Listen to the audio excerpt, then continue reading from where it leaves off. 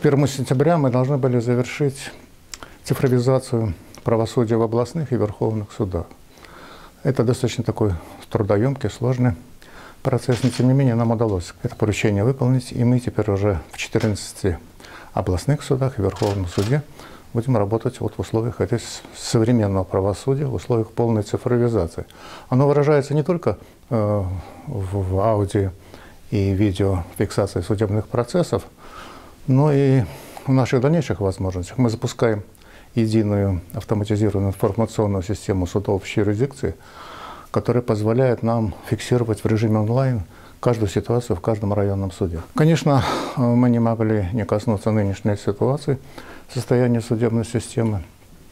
И мной было подчеркнуто, что несмотря на, конечно, некоторые напряженность, связанную с ростом административных дел в этот период в городских судах города Минска. В принципе, ситуация рабочая, нормальная, не, не вызывает какой-то э, серьезной озабоченности. Глава государства еще раз подчеркнул, что судьи должны быть вне политики, они не могут быть членами политических партий, они не могут заниматься пропагандой, агитацией, и все, что они делают, должно быть исключительно в строгом соответствии с законом, Конституцией и действующим законодательством.